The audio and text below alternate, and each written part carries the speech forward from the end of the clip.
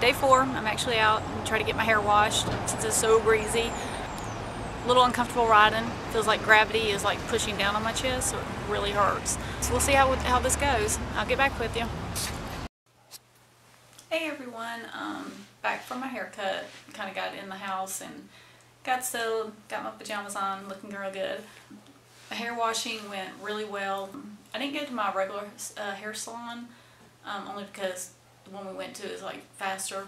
So they were a little rough. So I'll be honest with you, it even being in a salon chair leaned back, it still jogs you around a little bit, but it's worth it because my head feels so much better. So yeah, just keep in mind it will still hurt a little bit. Um, today I've had a little bit more pain than I have been having. I think it's just because of the pump being gone. I didn't show you this earlier, but my pain pump actually came in this little pack. And what they did is, once the pain pump was empty, you now use it for your tubes. All your drains that are coming out. Um, so I have like four little drains in here, and I'll show those at a later time. So it's kind of nice because we just like have it pinned up here and it just stays on your waist, and it doesn't, you know, itch you because it's on the actual cloth material.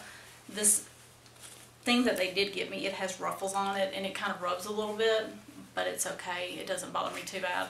Um, I wanted to show you this.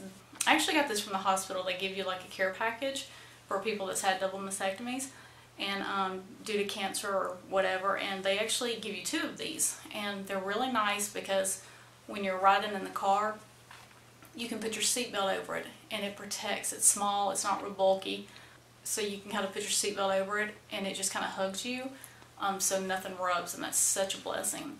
And also at night, when I have both of them, I put them underneath my arms to kind of raise and support your arms because after a while, you know, your arms just get really sore from hanging and that whole area where the, where the drains are, it just gets real tender after a while. Percocets today have been I have to. Um, I even got a little nauseated right before supper. Not sure what that was about. I think it's just it's just everything in the body. Just trying to get used to the trauma, you know, to your breast area. So I took a Phenergan and that did help a lot. So yeah, I'm just, honestly, I'm just ready for bed, ready to hit the sack and hopefully sleep for about 9 10 hours um, before I get up and do all this again with your medicine. Remember, antibiotics I have to take four times a day.